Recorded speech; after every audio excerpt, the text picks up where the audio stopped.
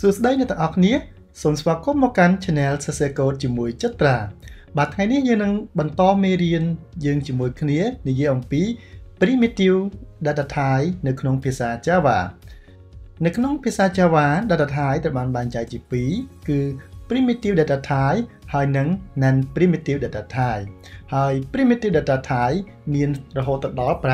8 យើងបានមេរៀនមុនមុនតាំងពី7.1រហូតដល់7.4យើងបានស្គាល់ហើយប្រភេទ primitive data type ជា integers ដែលមាន4មានមាន byte short int ហើយនិង long បន្ទាប់មកទៀតយើងមានប្រភេទ data type ជា floating point ដែលជាចំនួនទស្សភាគអំបញ្ញមិញជាចំនួនគត់អានេះជាចំនួនទស្សភាគមាន float ហើយនិង dot double បាទហើយមេរៀនចុងក្រោយគេ 7.4យើងបាននិយាយអំពី boolean ដែល boolean ផ្ទុកនៅតម្លៃ true ឬក៏ក៏ false ហើយថ្ងៃនេះយើងនឹងចូលមេរៀនមួយទៀតគឺយើងនឹងឆ្លងកាត់ចូលទៅប្រភេទទិន្នន័យជាតួអក្សរបាទឆា data type ភាសាអង់គ្លេសគឺឆា data type ឆា data type មុននឹងចូលនឹងមេរៀនខ្ញុំសូមអនុញ្ញាតឲ្យអ្នកទាំងអស់គ្នាជួយ ទាញ keyboard មកហើយចុចនៅប៊ូតុង line មួយបានទេបន្តមកទៀតទាញកៅអីមកអង្គុយនៅមុខកុំព្យូទ័រធ្វើការងារជាមួយនឹងខ្ញុំបាទអញ្ចឹងសូមសហការគ្នាហើយមេរៀនយើងមិនមែនគ្រាន់តែអឺសម្រាប់ឲ្យអ្នកទាំងអស់គ្នាអឺសម្ដាប់គេងលក់នោះទេអ្នកខ្លះអូមេរៀនលោកគ្រូយត្រារៀនល្អណាស់ ធ្វើឲ្យខ្ញុំគេងលក់ស្រួលបរៀនទៅអ្នកខ្លះគេងលក់រៀនរៀនគេងលក់មានបាទមាន មាននៅក្នុងនេះមានអ្នករៀនរៀនជាមួយខ្ញុំស្ងាត់ពេកគេងលក់បាត់ឬក៏ខ្ញុំសរសេរកូដ error ច្រើនពេកគេងលក់បាត់មានទេបើមានសំលើកដៃអរគុណច្រើនបាទខ្ញុំនិយាយលេងសើចទេហើយអឺយើងចូលទៅមេរៀនយើងតែម្ដងអត់ទាន់ចូលទេខ្ញុំឲ្យមើលរូបភាពមួយនេះដែលខ្ញុំ generate ពី AI យើងឃើញមាន និស្សិត2នាក់នេះដែលជាគូសង្សារគ្នាអូសានិស្សិតនេះគេមានពួកគាត់ដើរលេងហើយប៉ុន្តែរវល់រវល់នឹងកិច្ចការសាលា IT សិន IT យើងបាទ IT ប្រហែលនេះទៅដើរលេងហើយយកកុំព្យូទ័រតាមខ្លួន ហើយប្រហែលមានអ្នកខ្លះគាត់អឺធ្វើការនេះអ្នកធ្វើការហ្នឹងអ្នករៀនសូត្រសភៅស្អីទៅពេញឆ្នេរសមុទ្រទឹកហូរមកមានទេមានអ្នក អឺអ្នកខ្លះចិត្តដល់ថ្ងៃអាសាយមិនសັດមិត្តឲ្យគ្រូជាពិសេសឆ្នាំទី3ទី4នេះបានហ្នឹងមានទេមានធ្លាប់ឆ្លងកាត់ទេកំពុងតែដើរលេងហើយអឺយកកុំព្យូទ័របង្ហើយអាសាយមិននៅតាមអឺរមណីយដ្ឋានផ្សេងផ្សេងមានអត់បាទហើយនេះយើងឃើញរូបភាពនេះសិតតែខ្ញុំ generate ពី AI ហើយបើសិនបើអ្នកទាំងអស់គ្នាមានចំណាប់អារម្មណ៍ក្នុងការចង់ ឲ្យខ្ញុំធ្វើវីដេអូអំពីការ generate AI នេះអាច comment ខាងក្នុងខាងក្រោម comment នេះថាលោកគ្រូខ្ញុំចង់ចេះពីរបៀបធ្វើម៉េចឲ្យ AI បង្កើតរូបភាពនឹងបានអញ្ចឹងប្រាប់ខ្ញុំមកខ្ញុំនឹងធ្វើវីដេអូជូននៅក្នុង channel ខ្ញុំមួយទៀតឈ្មោះថា Mr. Chitra Tech and Talk ឥឡូវហ្នឹង channel ហ្នឹងអត់មានអីទេនៅលើ link ស្អាតតែម្ដងបាទឥឡូវកុំឲ្យបបាត់ហោហាយវិញឆ្ងាយយើងចូលមេរៀន យើងតែម្ដងហើយមេរៀនថ្ងៃនេះគួរឲ្យចាប់អារម្មណ៍មែនទែនបាទខ្ញុំប្រាំងតាមពិតមេរៀននៅក្នុង Oracle គេឲ្យយើងបន្តិចទេប៉ុន្តែតែបន្តិចប៉ុន្តែខ្ញុំត្រូវការពេលវេលា research ស្វែងយល់អំពីវាច្រើនមែនទែនបាទស្វែងយល់ពីវាច្រើនមែនទែនដើម្បីឲ្យអ្នកទាំងអស់គ្នាងាយស្រួលកាន់តែយល់យល់ជាមួយនឹងវាកាន់តែច្បាស់បន្ថែមទៀតណាអញ្ចឹងវាត្រូវការ research ហើយអ្នកទាំងអស់គ្នាបើចង់ខ្លាំងត្រូវការ research អញ្ចឹងដែរ research ឲ្យបានច្រើននោះយើងនឹងខ្លាយទៅជាសិស្សពូកែមែនទេ ឬក៏អ្នកធ្វើការចង់អឺអ្នកកំពុងតែធ្វើការមើលអឺមេរៀន Java នេះបាទសម្រាប់ទូទៅអាចមានអ្នកខ្លះជាបុគ្គលិកធ្វើការដូចអ្នកនៅធ្វើខ្ញុំអ្នកធ្វើការដែរមានអឺមិត្តរួមការងារខ្ញុំក៏កំពុងតែមើលនៅវីដេអូនេះផងដែរអញ្ចឹងគ្រាន់តែសេចក្តីផ្ដើមមកអស់4នាទីឯងធុញទ្រាន់អត់អញ្ចឹងបើធុញទ្រាន់ក្នុងការនិយាយច្រើនសូមជួយប្រាប់ខ្ញុំផងបាទចាំមេរៀនក្រោយៗទៀតអត់និយាយច្រើនអញ្ចឹងឯងតោះឥឡូវចូលមេរៀន ប្រភេទទិន្នន័យជាឆាទាំងអស់គ្នាបាទឆាឆឹងឆាហ្នឹងគឺមិនមែនជាការស្ងោឬក៏ជៀនឆាអីទេឆានេះនៅក្នុងភាសាអង់គ្លេសដែលភាសាខ្មែរប្រែថាតួអតួអក្សរឧទាហរណ៍អក្សរកនៅក្នុងចិញ្ចឹមខ្មែរយើងគឺបំបែកកំណត់ត្រាពិភពលោកគឺមានតួអក្សរច្រើនជាងគេណាគឺមានកខកខងអញ្ចឹងទៅភាសាអង់គ្លេសមានគេ alphabet វាមាន A B C D E អញ្ចឹងទៅនោះហើយគឺគេឲ្យឈ្មោះថា ឆាឬក៏តួអតួអក្សរឥឡូវយើងមើលប្រភេទទិន្នន័យថាជាតួអក្សរតើវាយ៉ាងម៉េចទៅទី1ប្រភេទទិន្នន័យឆាមានទំហំផ្ទុកក្នុង memory 2 byte ឬក៏16 bit ដែលមានតួអក្សរអក្សរតែមួយគត់ជា uni Unicode អញ្ចឹងដាក់ store បានតែមួយយើងអាច store តម្លៃវា បានតែអក្សរ A ឬក៏អក្សរកទេហើយទំហំផ្ទុកវាគឺ fixed size ដែរ fixed fixed មានន័យថាម៉េចអ្នកនរគ្នា fixed fixed fixed មានន័យថាម៉េច fixed fixed មានថាទំហំដែលយើងផ្ទុកហ្នឹងក៏អត់ប្រែប្រួលទេខ្ញុំភ្លេចប្រាប់តាំងពីមេរៀនមុនមកដូចបាយហ្នឹងហ្មងប្រភេទ data type ជា byte ដាក់បាន1 byte ទៅហ៎បន្តទៀតជា short ដាក់បាន2 byte ហើយមាន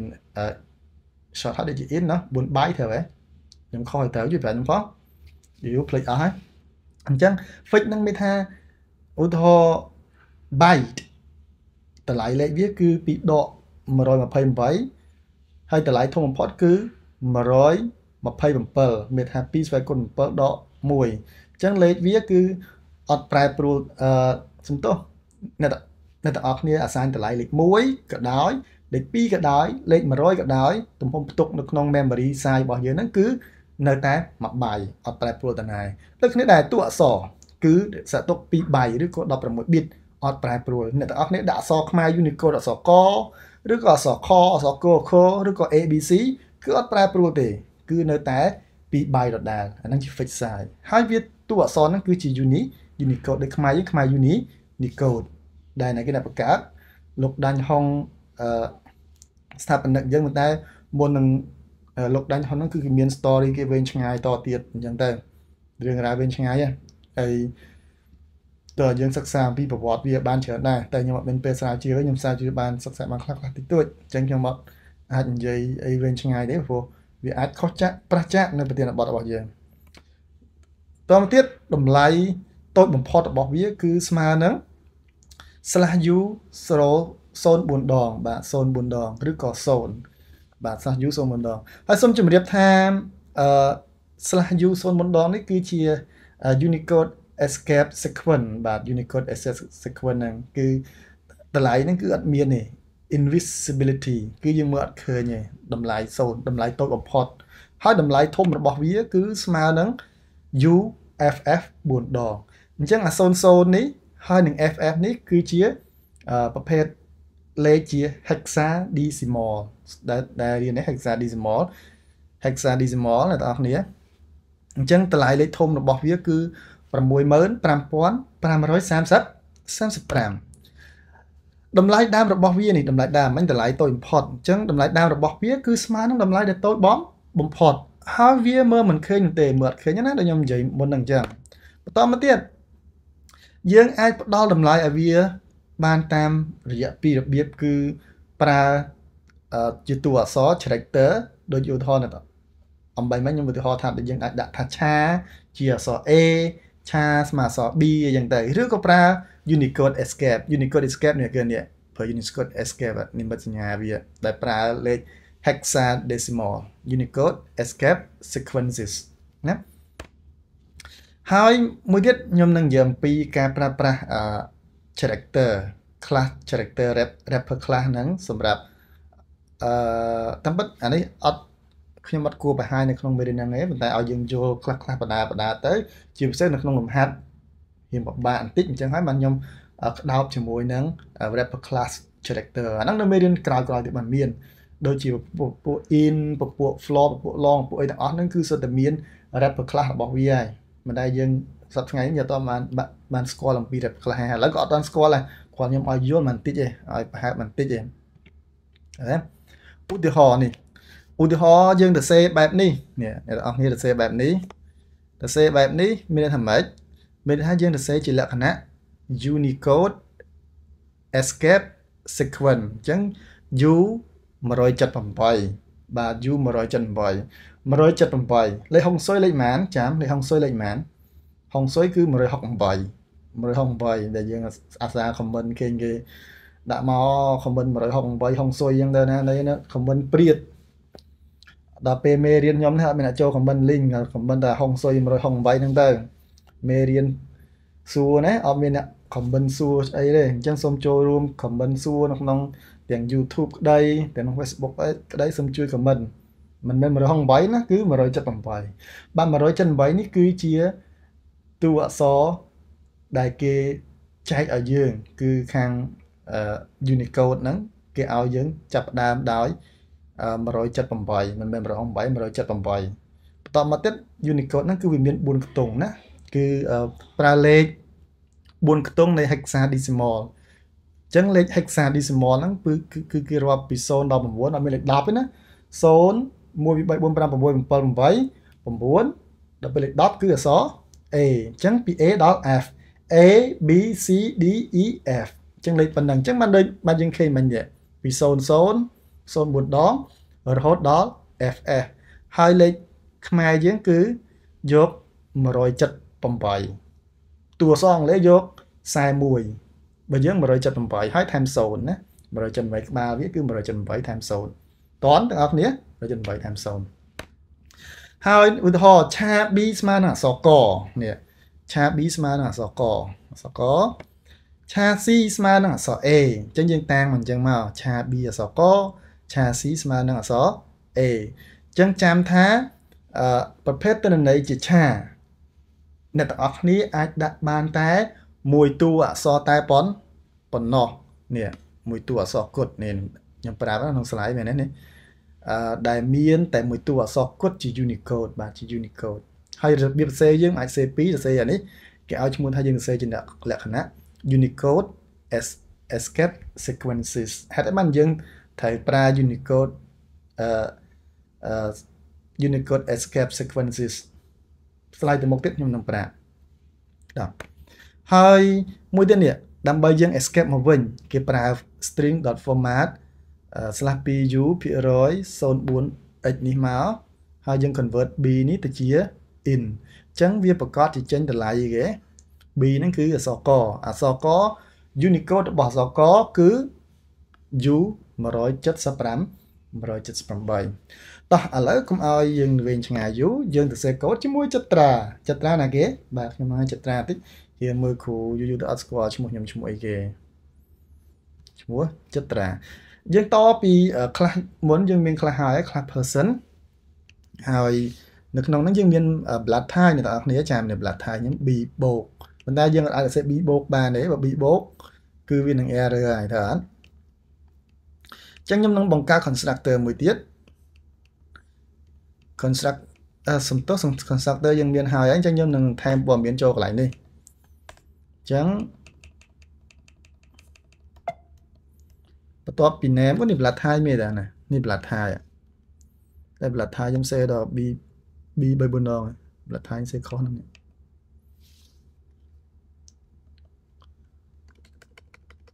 ឆា blood ឆា blood type អញ្ចឹង blood type ស្មើនឹង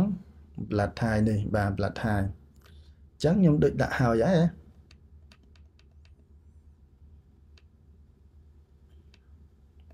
ចឹងអ្នកនរគ្នាសូមមើលទាំងអស់គ្នាអញ្ចឹងកន្លែងបាញ់បាញ់នៅពេលដែលយើង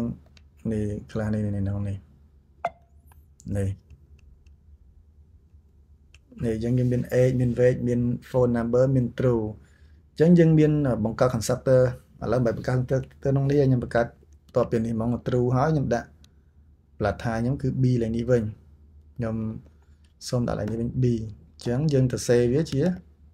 b ចេះមក b អញ្ចេះបាទ b អញ្ចឹង b អញ្ចឹងខ្ញុំទៅដូរ constructor វិញអញ្ចឹងមាន phone number ហើយមាន true មិញ phone number មាន true នៅ constructor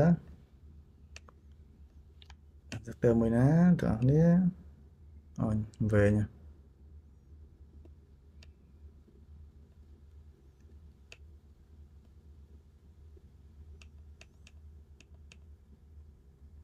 នេះនេះនេះ constructor មួយនេះ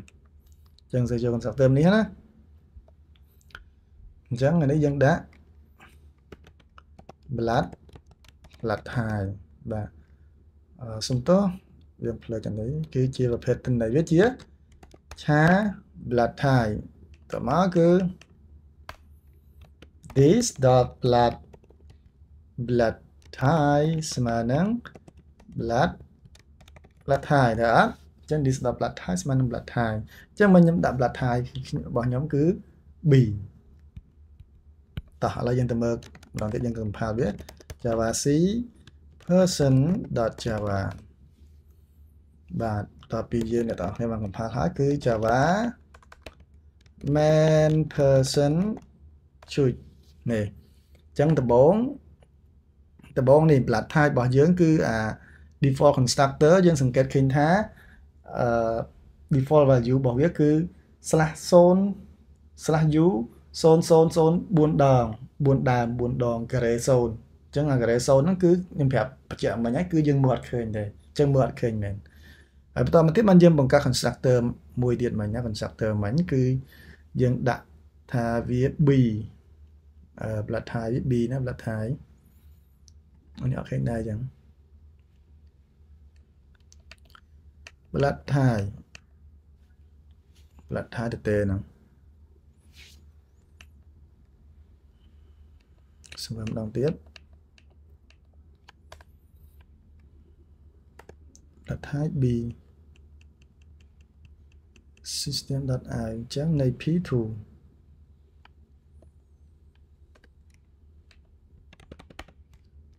system.out.print line testing ហ្នឹងចាដំណងទៀត java c person.java java main pers person ណាមិញណាមិញនេះ testing នេះហ្នឹងមែនបាទ testing ហ្នឹងហើយនេះនេះ blood type blood type ឡើយនេះគឺ B អញ្ចឹងឡើយ B នេះ testing មិញនេះបាទអញ្ចឹង blood type គឺ B blood type យើងគឺ B ហើយយើងអាចទៅសេមួយរបៀបទៀត មួយរបៀបទៀតសេមិន Unicode escape ឥឡូវខ្ញុំតេស្ត error ឲ្យមើលអញ្ចឹងគេថាដាក់បានតែមួយ character ទេឥឡូវយើងព្យាយាមដាក់ពីរ character java java c person.java នេះអ្នកនរគ្នាឃើញទេ bcbc អញ្ចឹងនៅពេលដែលយើងបង្កើត object មកគឺវាថា unclose character literal អញ្ចឹង bc ហ្នឹងគឺខុសហើយអញ្ចឹង literal វាគឺបានតែមួយខ្ទង់តែប៉ុណ្ណតែប៉ុណ្ណោះបាទ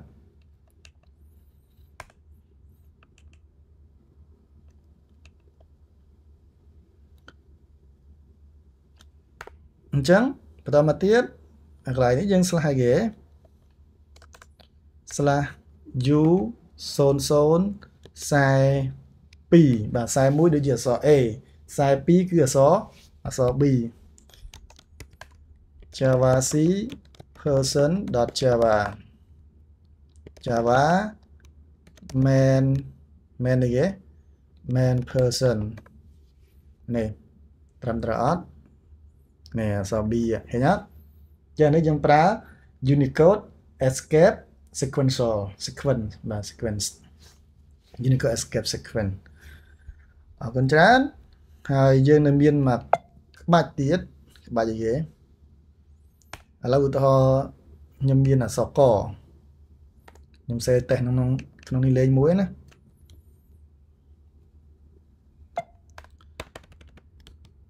ឆា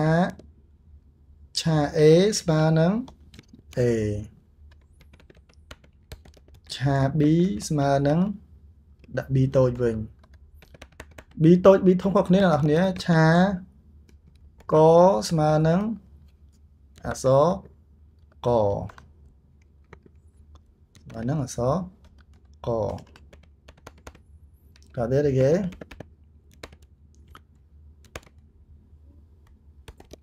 ឆាក s escape ស្មើនឹង slash backslash u 0 u0 10 18 100 178បាទ u0 178បូកខ្ទង់អញ្ចឹងអត់មាន0ទេអញ្ចឹងអានេះ0បាទ0នេះគឺអក្សរកខ្ញុំដាក់លេខ1គឺអក្សរខវិញនេះស្អីអញ្ចឹងបានស្អានពីរបៀបហ្នឹងឥឡូវយើងសាក print វាមើល system system.out.println នៃ a អូខេ system.out.println នៃ b system.out.print ឡើងនៃនៃក system.out.print ឡើងនៃខក e តាមពិតខក e ខបាទដាក់ចឹងចុះ អូខេតោះឥឡូវយើងសាក compile មើល java c person.java អូ error បាត់ក e cannot find symbol ក e ខ្ញុំសរសេរអក្សរ k ធំបាទអញ្ចឹងថា cannot find symbol មានថា zero អាអា symbol អត់ឃើញទេដោយសារយើងមិនប្រកាសវាជាអក្សរ k ធំទេអក្សរ k នេះគឺអក្សរ k តូចទេតាហេតុអីបានមិនប្រាប់ខ្ញុំអ្នកទាំងអស់គ្នា java c person.java បាទនេះអត់អីទេបន្តទៀត java main person.java បាទ main person.java អញអីគេចេះ java main person ទៅទេតាបាទនេះអញ្ចឹងវាតម្លៃវានៅលើគេលើគេណាលើគេនេះអញ្ចឹងមានអក្សរ A តមកទៀតអក្សរ B អក្សរក អក្សរខដូចអ្វីដែលខ្ញុំរំពឹងទុកឯងអញ្ចឹងអ្នកទាំងអស់គ្នាអត់ធ្វើអីណាអត់ទាន់បដិសេធថាខ្ញុំមើលឲ្យចប់សិនខ្ញុំសេហើយសូមបញ្ជាក់ប្រាប់ថាប្រហែលជានៅក្នុង CMD របស់អ្នកទាំងអស់គ្នា Unicode ហ្នឹងវាអត់ស្គាល់តើអ្នកទាំងអស់គ្នា config អូខេត្រូវចេះពីរបៀប config ខ្ញុំឲ្យ admin ដៃស្ដាំគាត់ធ្វើវីដេអូមួយទៅទងជាមួយនឹងការ config ហ្នឹងជាមួយខ្ញុំឲ្យគាត់ បង្ហោះទៅហើយចង់មើលរបៀប config ហ្នឹងទៅជួបគាត់គាត់មាន channel ដែរ channel មួយដែលប្រម៉ូតគាត់មួយខ្ញុំអត់ប្រើ Windows ទេ Windows ខ្ញុំពីមុនខ្ញុំប្រើនៅក្នុង VMware តែឥឡូវឈូសបាត់ហើយដោយសារតែអស់ space អាលីងហើយដោយសារតែ record វីដេអូហ្នឹងវីដេអូមួយគឺមានទំហំ 4K រហូតដល់ 8G អែននោះគឺធំមែនទែនអ្នកនរគ្នាអញ្ចឹងឥឡូវកំពុងតែសន្សំលុយ ទិញ hard disk មួយដើម្បីទុកបរិញ្ញាអ្នកនរគ្នាទុកមេរៀនជា reference របស់យើងបាទហើយដល់ពេលទិញ hard disk ខ្ញុំនឹង install Windows មួយទៀតនៅក្នុង MacBook ខ្ញុំដើម្បីងាយស្រួលក្នុងការបង្រៀនអ្នកទាំងអស់គ្នាដែរ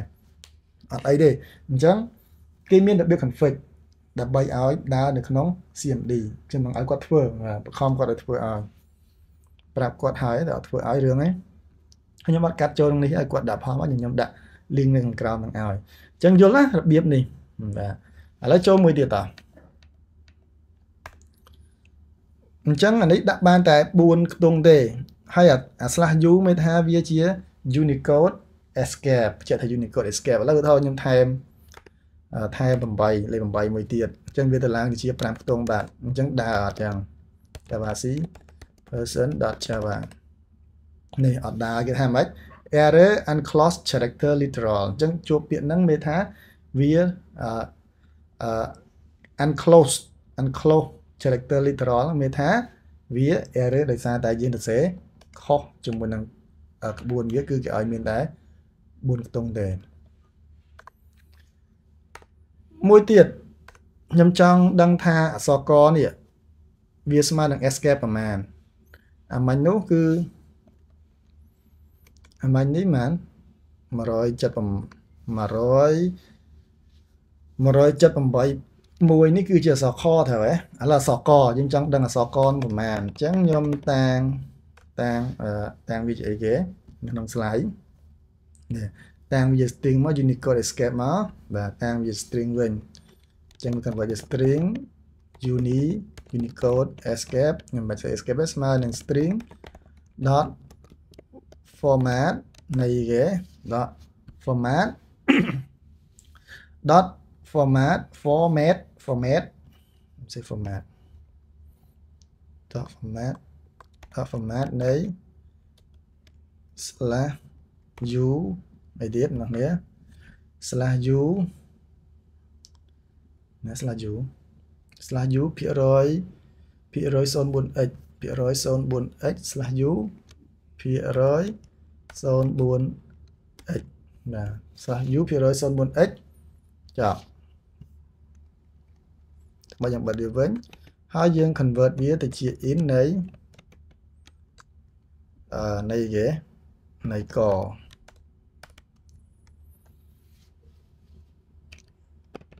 in in កក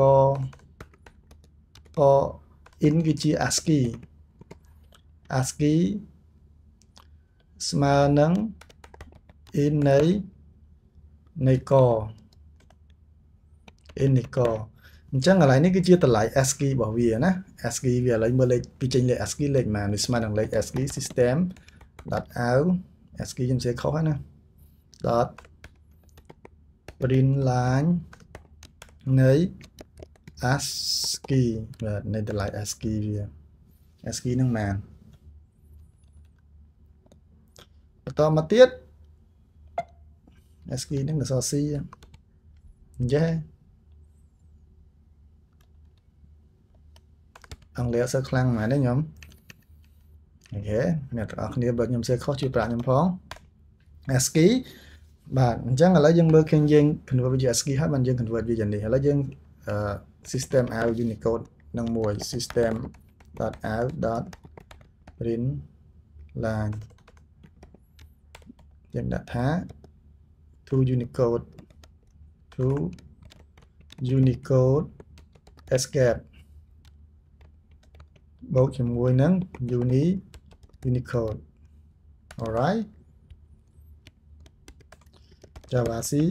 person.java អូសំទោសបាទខ្ញុំសេនេះ convert ខុសណាយើងដាក់បើកបិទមកកញ្ចក់កន្លែង in នេះហើយកន្លែងហ្នឹងអ្នកទាំងអស់នេះមិនឆ្ងល់ទេណាព្រោះបញ្យល់ពេលហ្នឹងក៏អត់យល់ដែរ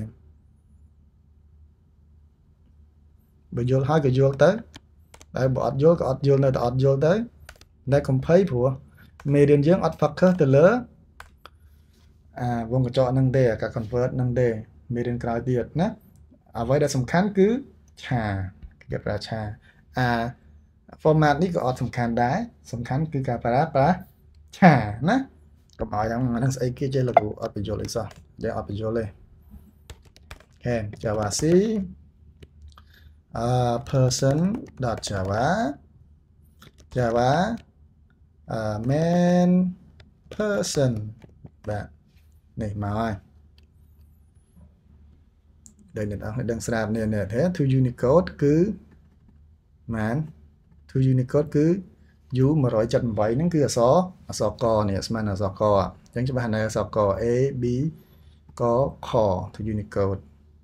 ហើយនេះ ASCII វាគឺ60 16អក្សរកតន់បាទឥឡូវយើងចូលមក slide ទាំងអស់របស់យើងវិញយើងអត់ទាន់ចប់ទេ អឺប្រភេទទន័យជាឆាហ្នឹងគឺយើងមាន list នៃ Unicode នេះបាទ list នៃ Unicode សូមអ្នកនរចូលមើលជាមួយខ្ញុំអ្នកនរ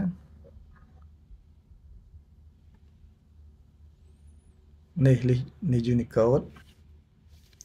ចឹង Unicode នៃ Unicode នៃ Unicode នៃ Unicode logo list of Unicode characters ចឹងអ្នកនរចូល website ហ្នឹងហើយខ្ញុំនឹងបោះ website link website ហ្នឹង នៅក្នុង description អ្នកនរអាចចូលទៅមើលក្នុង description បានហើយរបៀបមើលវានេះមានច្រើនណាដូចយើងនិយាយឲ្យបាញ់មិញគឺនេះតាំងពី version 1មក from Wikipedia Unicode ឥឡូវហ្នឹងដល់ version 15.1ហើយហើយវាមាន character សរុបទាំងអស់គឺប្រមាណ149,000 character 149,878ចាំ with code point អញ្ចឹងតួអក្សរ Unicode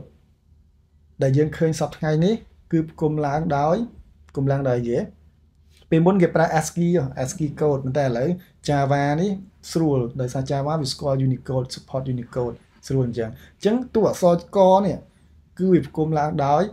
hexadecimal គុំឡើងដោយសតតួលេខតួលេខដែលតួលេខខ្មែររបស់យើងគឺវាឲ្យពី178មិន168ណាអញ្ចឹង178ស្រួលចាំអត់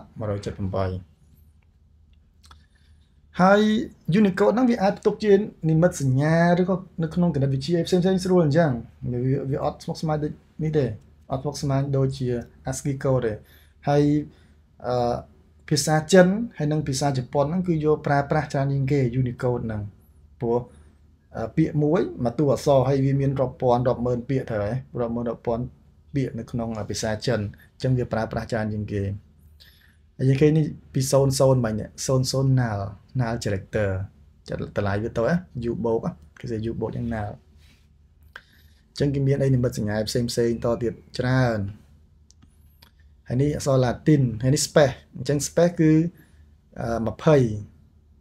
ដល់ពេល40 40 F អឺ40 40នេះ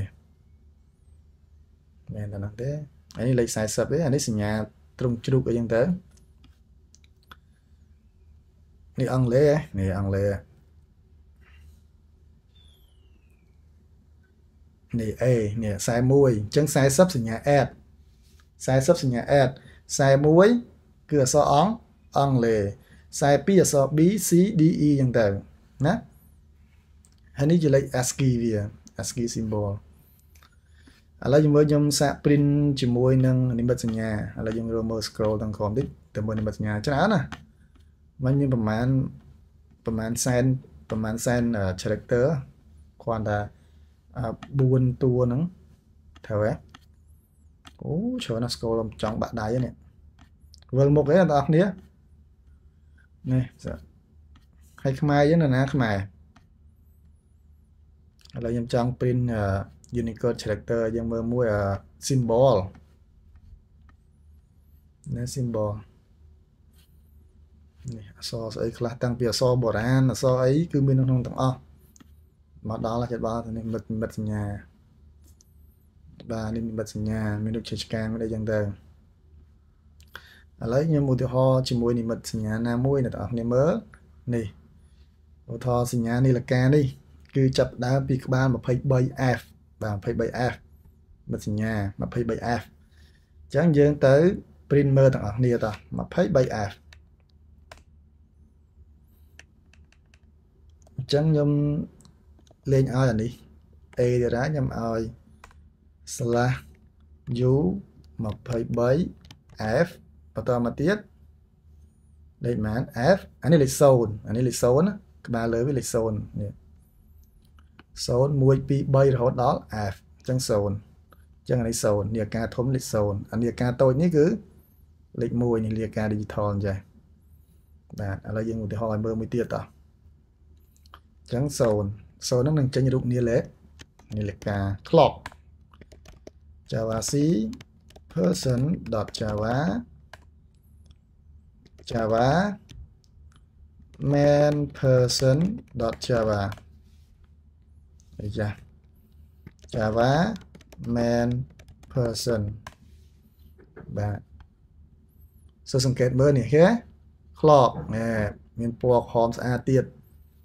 អ្នកប្រើ Windows សង្ស័យ print អត់ចេញទេអ្នកប្រើ Windows ដូរមកប្រើ Mac ឬក៏ប្រើ Linux អាចចេញប៉ុន្តែមាន config ខ្ញុំអឺចាំមើលសេនាដៃស្ដាំខ្ញុំឈ្មោះលោកបូរីសឲ្យគាត់ជួយ ចឹងដូរទៀតអចឹងស្រួលហើយណាបងប្អូននេះមានរូបនិមិត្តសញ្ញាច្រើនឥឡូវចូលមើលអាខ្មែរយើងម្ដង ខ្មែរគេមានឲ្យដែរខ្មែរខ្ញុំ search មករកពាក្យខ្មែរយើងមើលខ្មែរ blog នេះខ្មែរ blog នេះបងប្អូនខ្មែរ blog ខ្មែរ Unicode blog ហេយើងចុចលើហ្នឹងមកនេះខ្មែរ Unicode blog អញ្ចឹងគេដាក់អញ្ចេះមកស្រួលមើលអញ្ចឹងយើងឃើញខាងលើនេះគឺពីលេខ0រហូតដល់ F អានេះគឺជាលេខ hexa DC decimal ដូចខ្ញុំបានប្រាប់ជម្រាបពីខាងដើមអញ្ចឹង hexa decimal មានពីលេខ0 1 2 3 4 5 6 7 8 9ពី A ទៅដល់ F អត់មានលេខ10ទេណាហើយបន្តមកទៀតក្បាលរបស់យើង គឺគេឲ្យគេបែងចែកយើងពី178 178x x ហ្នឹងគឺចំនួនមកលេខ0ជើង178 0គឺអក្សរក 178ឬក៏178បូក1អក្សរខ178 2អក្សរកអញ្ចឹងទៅអក្សរខអញ្ចឹងទៅហើយយើងមានអានេះស្អីគេ O A A អញ្ចឹងទៅ O ស្រៈពេញតួយើងមានដូចជាមាន O A A ត្រូវខ្ញុំមិនមែនជាអ្នកអក្សរខ្មែរទេតែពីមុនមកគឺមាន O A A ស្រៈពេញតួប៉ុន្តែដូចជាសប្តាហ៍ថ្ងៃហ្នឹងគេលុបបំបត្តិបាត់ទៅហើយ O A A ហើយបើខ្ញុំនិយាយទៅខុសសូមជួយប្រាប់ខ្ញុំផងខ្ញុំមិនមែនជាអ្នកអក្សរសាស្ត្រខ្មែរទេប៉ុន្តែខ្ញុំព្យាយាមរៀនអ្នកនរនេះព្យាយាមរៀនដែរហើយបើសិនមកមានអ្នកសិស្សពូកែខ្មែរខ្ញុំនិយាយខុសជួយប្រាប់ខ្ញុំផងបាទនេះ O A A A យ៉ាងដែរអឺអឺអ្នកទាំងអស់នេះជួយតេស្តឲ្យច្រើនមកណាហើយមានលក្ខនឹងលក្ខអានេះគេសើលក្ខនឹងលក្ខនេះគេលក្ខនឹងលក្ខ 17DX លក្ខនឹងលក្ខលេខម៉ានអានេះលក្ខនឹងលក្ខលេខ8ថែមលេខ8ទៅមកចេញលក្ខនឹងលក្ខហើយគេមានអានេះខណ្ឌចប់ហើយអានេះសញ្ញាស្អីគេហ្នឹង សញ្ញាអីគេខណ្ឌបញ្ចប់ដែរចប់សេចក្តីនៅក្នុងដូចជានៅក្នុងសភៅវានៅក្នុងសភៅមួយទាំងមូលហ្នឹងទៅពេលដែលសភៅបញ្ចប់សភៅដូចជាចេញសញ្ញាអញ្ចឹងប៉ុន្តែអានេះបញ្ចប់កថាខណ្ឌហ្នឹងចប់កថាខណ្ឌណាចប់មកកថាខណ្ឌមួយចម្ពោះគឺចប់សេចក្តីប៉ុន្តែនេះដូចជាក្នុងមួយសភៅហ្នឹងចប់ជាសរសេរសញ្ញាអញ្ចឹងខ្ញុំអត់ច្បាស់ដែរមានអ្នកពូកែខ្មែរជួយប្រាប់ខ្ញុំផងចឹងនេះលេខរបស់យើងណាអ្នកទាំងអស់គ្នាក៏ខកកខងចោចចោចជួយស្អាត SA ហ្នឹង ចឹងមករៀនស្អាត SA ជាមួយគ្នា នៅក្នុងវគ្គ Java ហើយ Unicode តាមពិតនៅក្នុងមេរៀនយើងគេឲ្យយើងចេះតែឆាបន្តិចទេតែឥឡូវយើងចេះស្ងោបាទចេះស្ងោលំអិតអត់ច្បាស់អត់ហើយត្រូវការអ្នកនរគ្នាស្រាវជ្រាវបន្ថែមទៀត research បន្ថែមទៀតមិនមែនមកមើលតែវីដេអូខ្ញុំមកអត់ធ្វើនេះចូល website នឹងមើលមកមាននិមិត្តសញ្ញាអីខ្លះធ្វើមកណាហើយនេះគេមាន minute វានេះ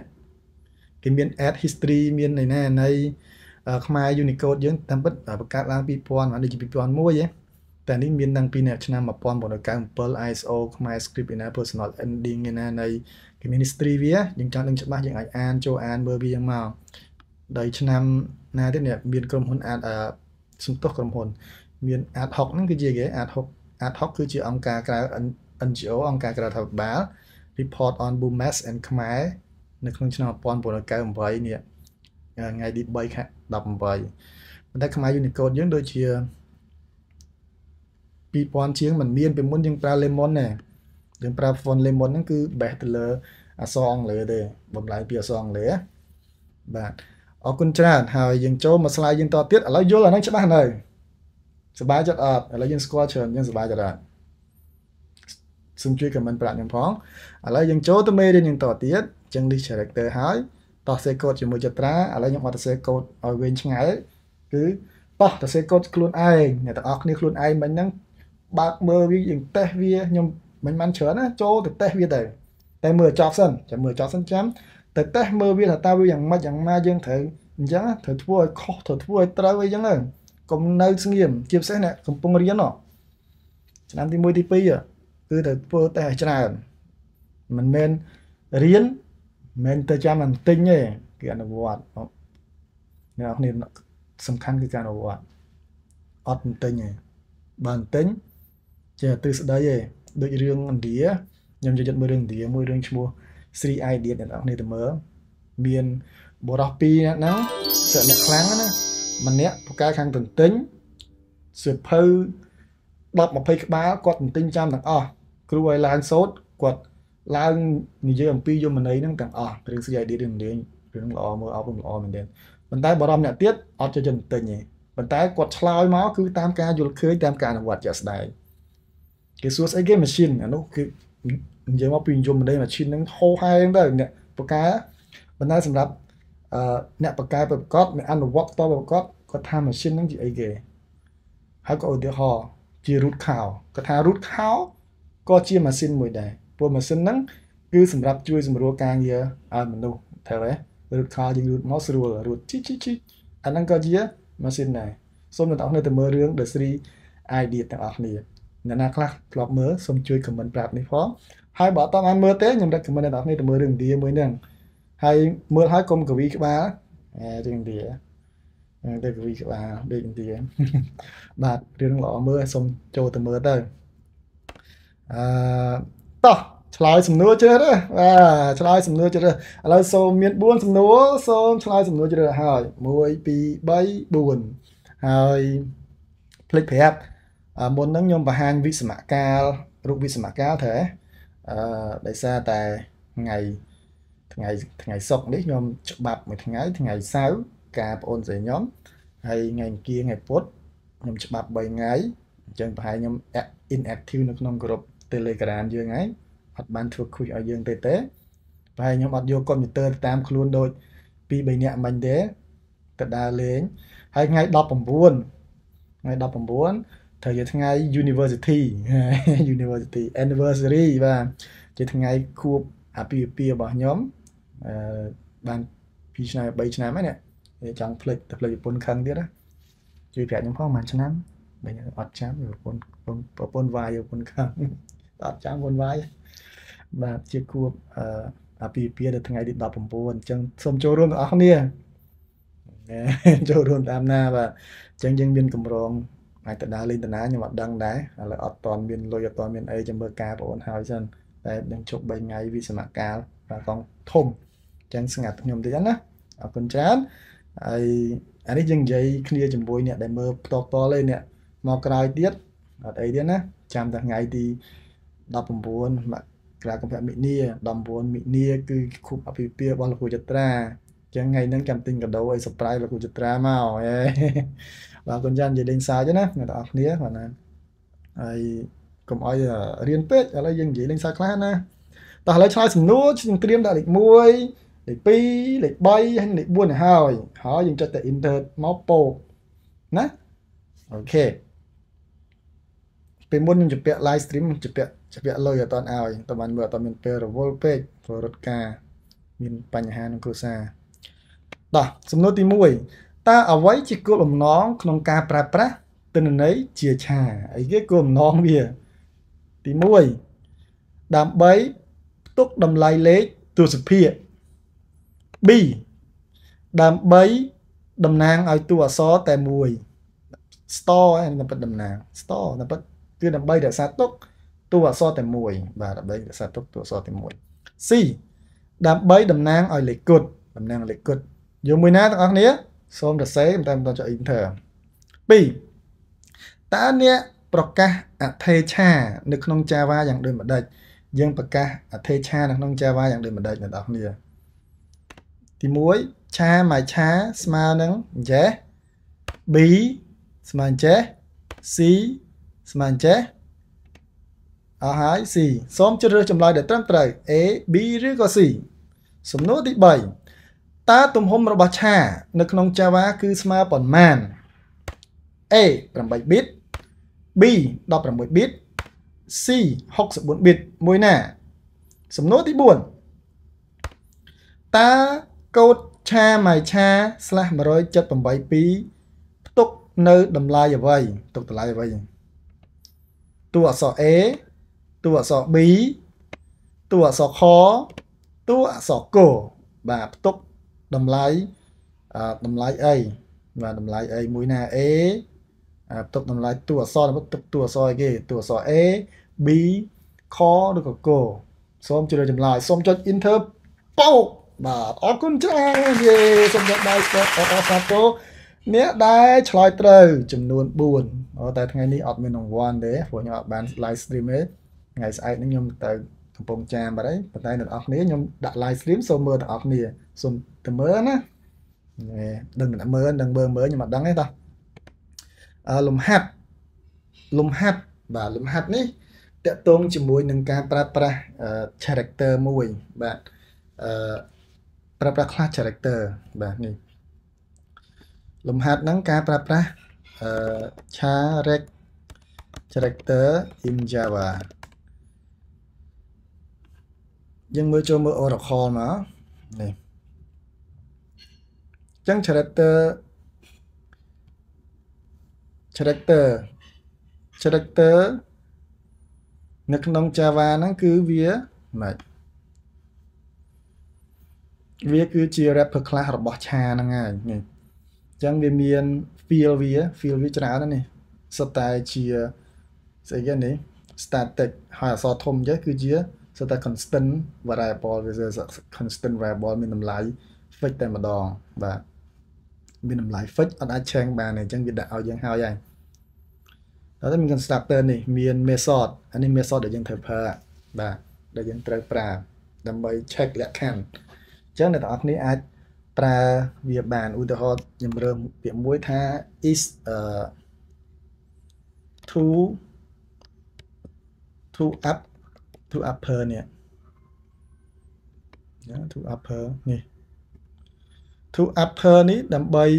convert នេះ convert អក្សរហ្នឹងទៅជាអក្សរអក្សរធំបាទ convert អក្សរទៅជាអក្សរធំឧទាហរណ៍ឧទាហរណ៍ក្នុងកូដយើង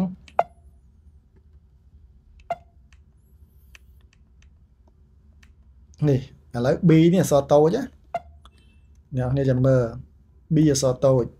អញ្ចឹងខ្ញុំនឹង convert B នេះជាអក្សរធំវិញ system.out.print line នៃ B បាទ B B នេះគឺអក្សរអក្សរតូច B small smaller smaller b បូកជាមួយនឹង b បន្តមកទៀត យើងនឹង convert វា return type វាជាអីគេ public static char នេះវា return ទៅជា char to uppercase to uppercase to uppercase អញ្ចឹងយើងទៅ char capital B ស្មើនឹង char character dot to upper case ហើយយើងបោះតម្លៃ b នឹងចូលមកអញ្ចឹងពេលនោះយើងនឹងបានអក្សរ b ធំហើយ system.out.print line នៃគេ .print line នៃគេអ្នកនរគ្នា dot print line នៃ capital B បាទ capital B ឥឡូវយើងមើល java c person.java អត់ error ទេ java main person ជួយណាស b តូចធំមិញហ្នឹងនេះ smaller b នេះហ៎ smaller b b តាមទៅយើង convert ទៅជាអក្សរ b ធំអញ្ចឹង method វាអញ្ចឹងអញ្ចឹងអ្នកទាំងអស់គ្នាអាចនៅក្នុងលំហាត់ហ្នឹងគឺខ្ញុំឲ្យប្រើចេះ compare មើលថាតើវា is មានលក្ខខណ្ឌ if លក្ខខណ្ឌអីទៀតរៀងលំហាត់នេះរៀងពិបាកបន្តិច ប៉ុន្តែខ្ញុំចង់ឲ្យអ្នកទាំងអស់គ្នាចេះស្រាវជ្រាវវា សំខាន់ការស្រាវជ្រាវនេះអញ្ចឹងខ្ញុំអត់ឲ្យឈប់ឲ្យអឺជប់ឲ្យត្រីហូបហើយឥឡូវខ្ញុំឲ្យតែសន្ទូចជាយាមស្ទូចណាអ្នកទាំងអស់គ្នាខ្ញុំឲ្យតែសន្ទូចទេឥឡូវស្ទូចខ្ញុំឲ្យច្រើនណាឥឡូវឲ្យយើងស្រាវជ្រាវម្ដងធ្វើលំហាត់ហ្នឹងហើយមួយទៀតយើងប្រើប្រាស់ scanner scanner បាទប្រើប្រាស់ scanner នេះប្រើប្រាស់ scan scanner Java ចឹង search ពាក្យហ្នឹងមកការប្រើប្រាស់ scanner scanner Java ហ្នឹងសម្រាប់ទាញយកតម្លៃដែល user បោះចេញមកឲ្យមកឥឡូវខ្ញុំក៏អត់តបង្រៀនដែរខ្ញុំវាយតែពាក្យប៉ុណ្ណឹងឲ្យអ្នកទាំងអស់គ្នា research មើលការប្រើប្រាស់ scanner ហ្នឹងហើយមកអនុវត្តវានៅក្នុងលំហាត់របស់យើងវិញអញ្ចឹងនៅក្នុងលំហាត់របស់យើងគេឲ្យយើងធ្វើអីគេនេះអាចធីវាអញ្ចឹងខ្ញុំអត់អាននេះច្រើនទេ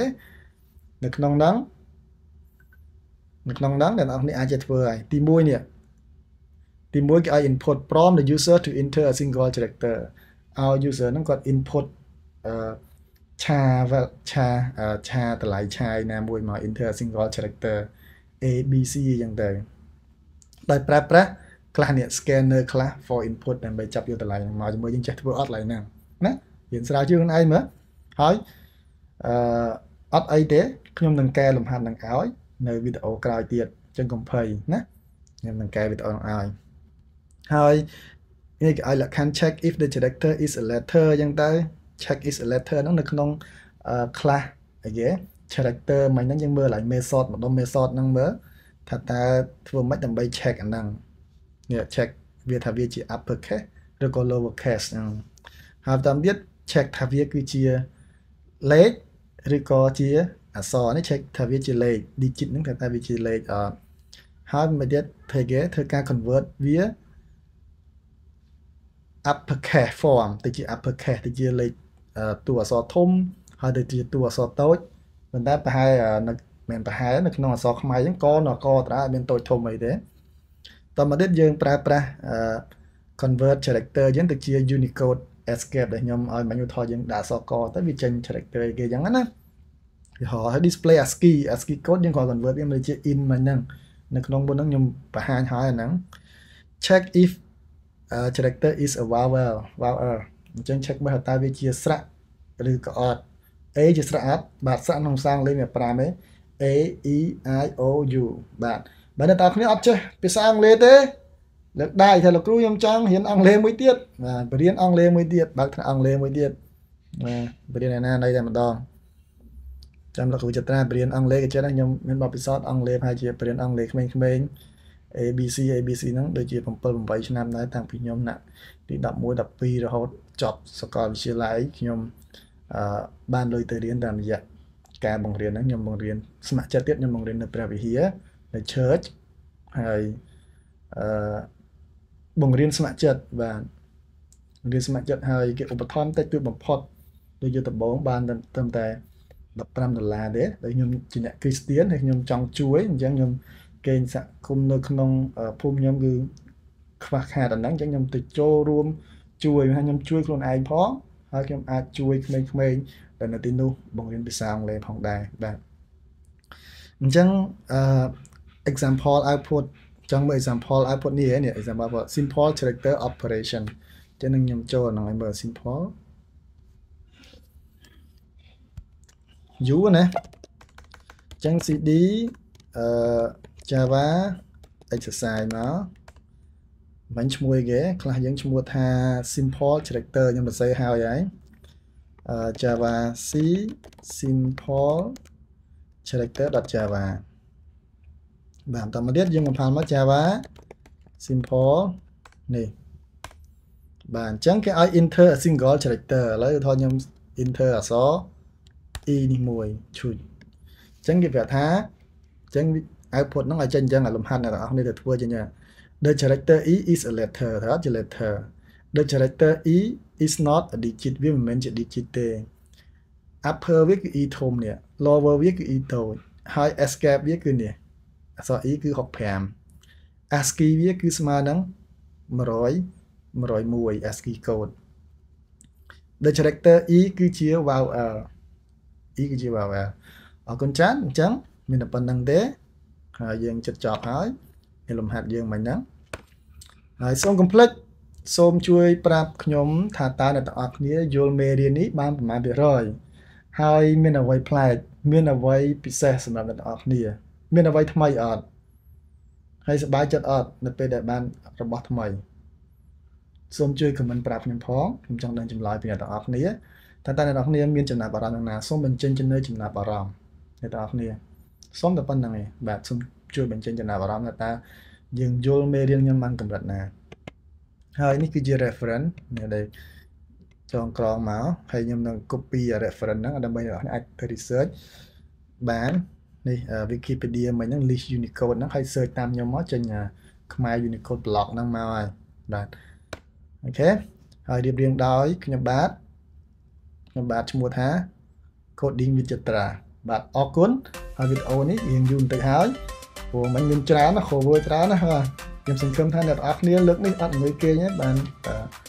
មេរៀនដ៏គួរចាប់អារម្មណ៍មួយនេះបាទអរគុណច្រើនហើយសូមគោរពជំរាបលា សន្យាថាជួបគ្នានៅមេរៀនក្រោយទៀតជួបគ្នាទៀតអត់បើជួបគ្នាសូមមេដៃមួយបាយបាយ